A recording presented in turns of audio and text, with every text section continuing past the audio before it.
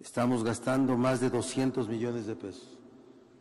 Ya hemos entregado el material suficiente para la reparación de viviendas, de más de 20 mil viviendas. Hemos entregado más de 20 mil despensas, kits de salud, diferentes elementos para poder generar mejores condiciones de vida de las personas afectadas.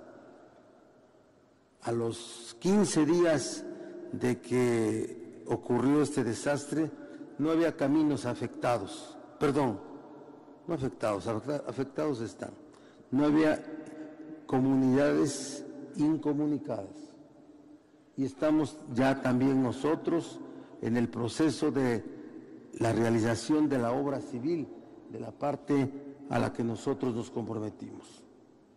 Ahí debo decir, señor presidente, señor presidente, que en esta zona el gobierno del Estado ha estado trabajando en muchas carreteras que usted conoce. En el 2020 hicimos 400 kilómetros de carreteras en Puebla.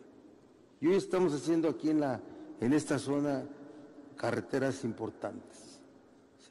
De Lázaro Cárdenas a Metlaltoyuc. Usted conoce, ha recorrido toda esa sierra.